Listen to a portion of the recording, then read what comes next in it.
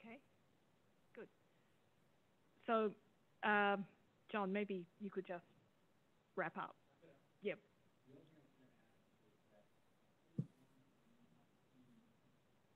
Very similar to a- the park course, which is just to the south, that the city experiences a lot of activity. They almost, they almost overflow their parking lot regularly, and people go out there often. So it does get a lot of very positive use that phase one would be similar to. Uh, just to clarify that, it's the hydro-seeded vast park with nothing in it? it's almost less than that. I think it's almost like a dirt patch.